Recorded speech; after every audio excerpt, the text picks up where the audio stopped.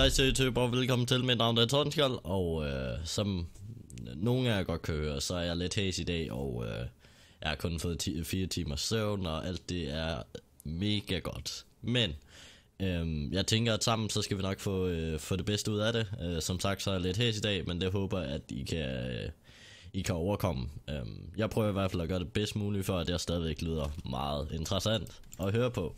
Men i går der har jeg arbejdet lidt, og øh, her der står vi lige, imens jeg snakker. Øh, I går der arbejdede jeg lidt på, øh, på muren, som, som jeg sagde, og jeg sagde også, at jeg nok vil gøre den færdig, eller sådan lidt hvad. Det, øh, jeg tænker ikke så klart lige nu. Øhm, men jeg har arbejdet lidt på designet, og øh, jeg synes, det er blevet mega godt indtil videre i hvert fald. Jeg kan allerede afsløre nu, at, øh, at jeg altså ikke er blevet færdig med muren. Eller muren hedder det. Øhm. men jeg har forberedt en del, så vi de næste, over de næste par dage kan, få, kan færdiggøre den helt fuldt ud. Og endnu en ting, det er, at øh, jeg har fået en kappe på. Og øh, det har jeg gjort af den årsag, at øh, jeg har været en Optifine donator for mange år siden. Øhm, men så har der været nogle problemer med, at jeg ikke har fået migreret min account og sådan noget. Og det har jeg altså nu, efter et års... Øh, spekulere mig om, hvad, hvad jeg lige gjorde. Øhm, jeg kontaktede simpelthen Mojang, eller Mojang, sorry, for nogle uger siden, og øh, så har vi simpelthen fået det ordnet her i går. Øhm, og det var rigtig, rigtig lækkert. Øh, jeg kan ikke huske, om jeg havde kappen på i går, men nu tænker jeg lige, at jeg vil, hvad skal man sige, nu tænker jeg lige, at informere jer for, for en god sags skyld, eller hvad man skal sige. Øhm, kappens link, det er et flag, og øh, jeg smider selvfølgelig ned i beskrivelsen. Øhm, jeg har valgt sådan at have lidt øh, mudder look over det nede i bunden, for det er sådan til at sådan lidt beskidt ud, og øh, det tænker jeg, det er rigtig, rigtig godt. Men, udover det, så tænker jeg, at vi skal over og se på muren. Øhm, som sagt, så havde jeg ikke bygget den færdig, men det her, gutter, det her, det er en fantastisk mor, synes jeg. Øhm, jeg er sikker på, at det, det nok skal blive en af de bedste mor, jeg nogensinde har bygget. det siger jeg om alting. Men jeg, jeg valgte at slette det design, vi har lavet, og så har jeg valgt at gå med sådan nogle træpæle. Øhm, og det er altså kun træskelettet, jeg har lavet indtil videre. Jeg tænker, at man, øh, man skal kunne gå igennem her. Øhm, og man skal kunne gå ovenpå. øh, og så skal de være connected til tårnene. Jeg har nemlig ændret mening. øh, fordi i, i går, så, så var det jo en bue ind på hver sin side, men nu har jeg altså gjort den lige. Um, og så prøve at terraforme det her om, så det ligner at, ja, så det ligner lidt, at øh, det er naturligt lavet. Um, men, det vil også sige, at jeg har brugt en masse jord, og det skal jeg skaffe mere af, og udover det, så har jeg også tænkt mig, at vi ikke bygger nogle skromure, fordi det er sådan med Minecraft, vil man bygge en skromur, så kommer der til at være mærkelige ting, og øh, det har jeg ikke lyst til at se på. Øhm, så vi bygger altså kun lige mure, men øh, jeg har tænkt lidt over det, øh, hvordan vores slot skal jo se ud og sådan noget. Øhm, og det vi skal, det er at vi skal herned.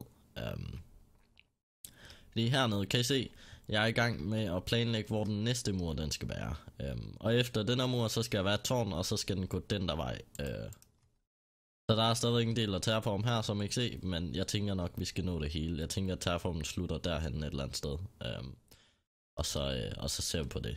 Jeg havde ikke med cobblestone, desværre. Øhm, men øh, som I kan se, så har jeg allerede lagt øh, bloksene for, hvor pælene skal være, og det skal jo nok blive rigtig, rigtig godt. Udover det, så siden sidst, så har jeg fået ødelagt min øh, diamantøkse uden en chance. Og det har jeg simpelthen gjort ved den måde, at jeg har hugget over 100 træer.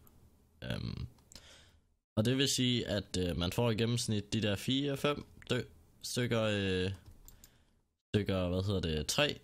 Øhm, og det, det, det er jo rigtig, rigtig lækkert. Øh, jeg kan høre, at jeg ikke har lyd på Minecraft igen i dag. Jeg, jeg forstår ikke, det er sådan hver anden gang, jeg åbner spil eller sådan noget. Så er der ikke lyd. Og det er ikke altid, jeg sådan kan tjekke det, fordi jeg er nødt til at lukke spillet ned igen og op igen for, for at kunne tjekke det. Øhm så det er ikke altid, det er muligt. Men jeg kan se, at jeg ikke har fået lyd på igen i dag, og det, det undskylder jeg selvfølgelig. Det retter jeg på lige om lidt. Men, øh, I må lige bære over med mig i dag. Jeg, jeg er ret syg. Øh, men jeg har lyst til at optage, og så tænker jeg, jamen så optager jeg. Der, der er ingen grund til at bare lade det ligge. Øh, men, som I ser, så har jeg en masse træ, og øh, der er næsten 10 stacks med 64. Det vil sige, at der er næsten øh, 640 docks. Og det er rigtig mange.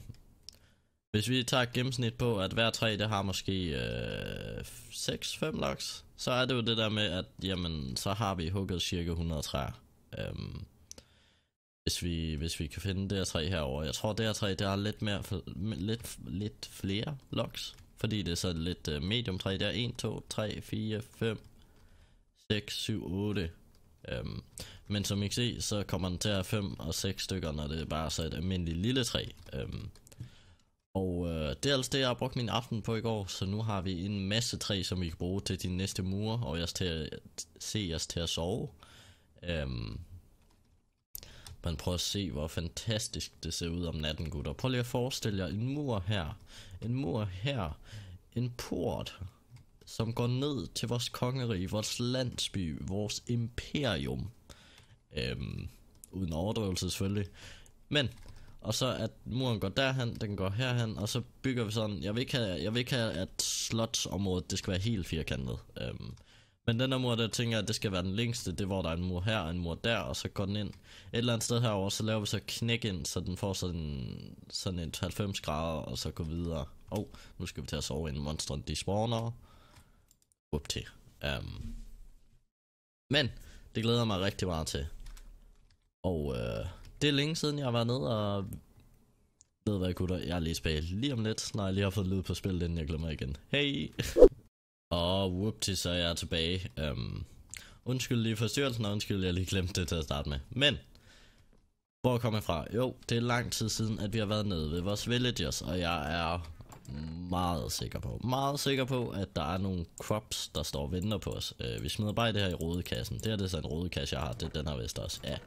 Det er to rodekasser, og som I kan se, så har jeg fået en masse, masse saplings. Øhm. og så samtidig i går, der var jeg nede og... Øh, der var jeg nede, og vi skal have en home, skal vi ikke? Jo, det skal vi. Der var jeg nede og lyse en meget, meget, meget, meget stor undergrund op øhm, med fakler, fordi den lå lige under vores slotsareal. Øhm, og jeg havde faktisk hørt øh, zombie-lydene nogle gange, men i går blev jeg simpelthen træt af, at jeg kunne høre dem fra mit borgareal. Øhm, og derfor så gik jeg ned i grotten. Jeg slog nogle ting ihjel, jeg slog en endermand ihjel og sådan lidt af hvert. Øhm, og det fik vi selvfølgelig en endlad Pearl af, og så var der zombier og creeper og sådan noget.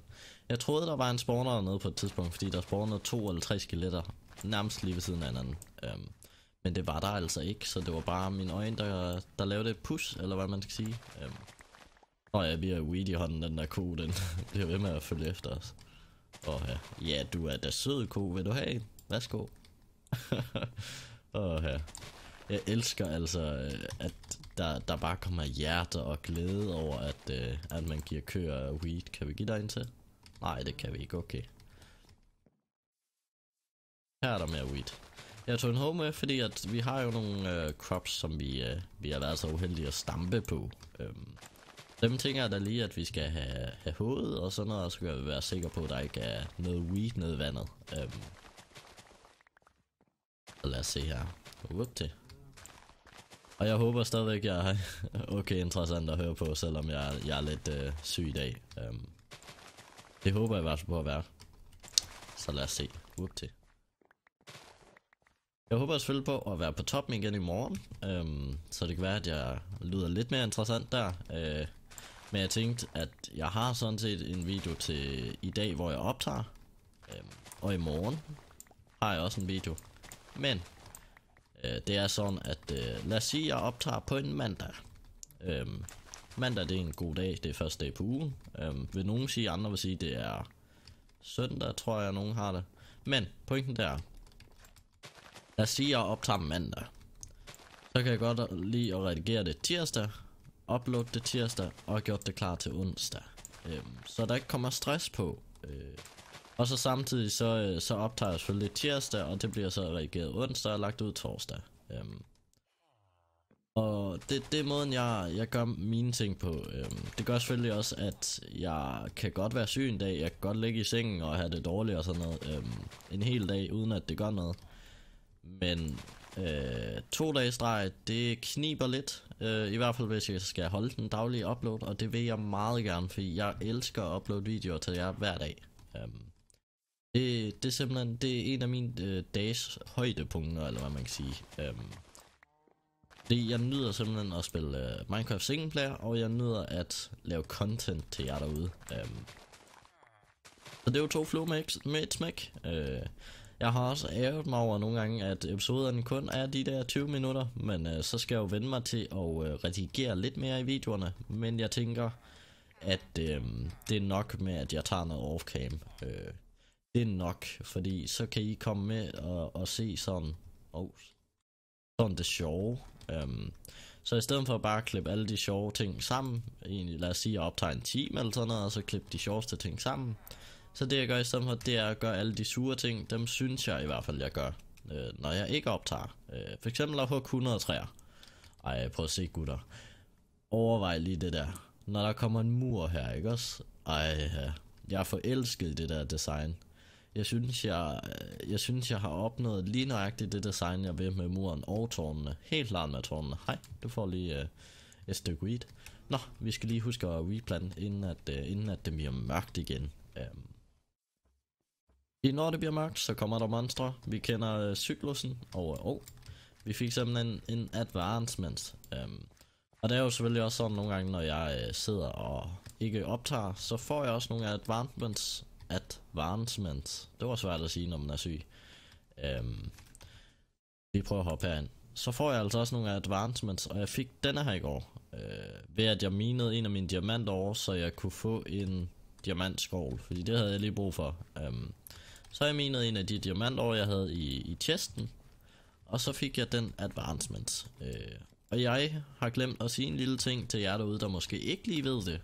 Men, umiddelbart hvad jeg har lagt mærke til, så giver advancements level.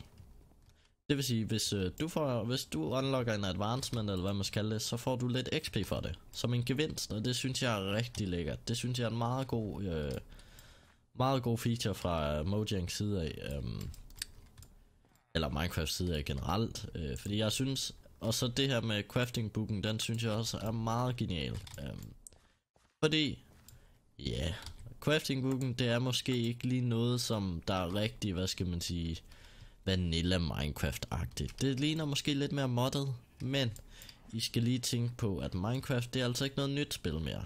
Og der er meget få mennesker, tror jeg, som finder Minecraft nyt. Øh. Der er selvfølgelig stadigvæk nogen, der finder det nyt, men vi har altså mange af os spillet Minecraft i mange år. Øhm. Og til at starte med i Minecraft, så kan jeg huske, der var sådan en hjemmeside, det, som jeg altid brugt, da jeg skulle ind og finde uh, crafting recipes og sådan noget. Jeg, jeg, jeg kan stadig ikke huske det. Det var sådan en hjemmeside, hvor ja, det var, det var legnet op lodret, så man skulle skåle ned for at finde recipes og sådan noget. Men det var meget hyggeligt. Det var ekstremt hyggeligt. Men det Minecraft øh, har gjort, det er simpelthen bare at, at gøre det lidt nemmere for os, og så øh, tage recipesene ind i spillet, i stedet for at man skal på en hjemmeside hele tiden, hvis man har glemt tingene. Um, og det synes jeg også er rigtig dejligt gjort af, uh, hvad hedder det, af, af Mojang. Øhm, åh, um, oh, der er det æg. Lad os da lige tage det.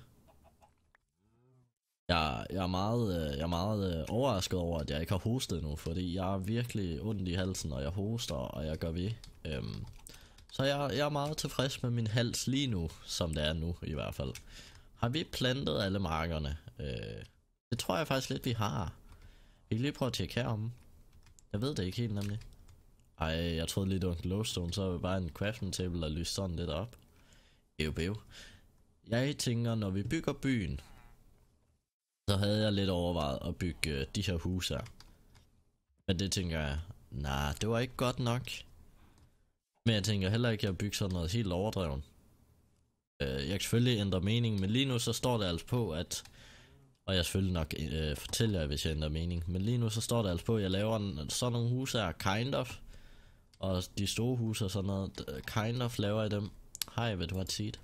Men jeg laver nogle ændringer ved det. Jeg, jeg får det til at se lidt mere lækkert ud, fordi det tænker jeg, jeg vil altså også gerne kunne lide at se på det. Øh, Jeg synes, husene, ja, de har et unikt, hvad hedder det, øh, det de har et unikt look, og det er jo, det er jo mange, der synes, det, det er dejligt. Det, det, øh, jeg kan stadigvæk huske, at øh, jeg tror simpelthen ikke, at husene, de har fået øh, en ændring, siden de kom ud. Øhm, spørg mig ikke lige om det, fordi at det er så mange år siden, og min hjerne den koger i dag, men jeg tror ikke, at Minecraft Villages, de har fået noget nyt look, siden de kom ud. Øh, selvfølgelig så er kommet Villages i øh, uh, Sandbiome, og der er kommet alt muligt andet, men selve ideen med husene, den er altså ikke udviklet.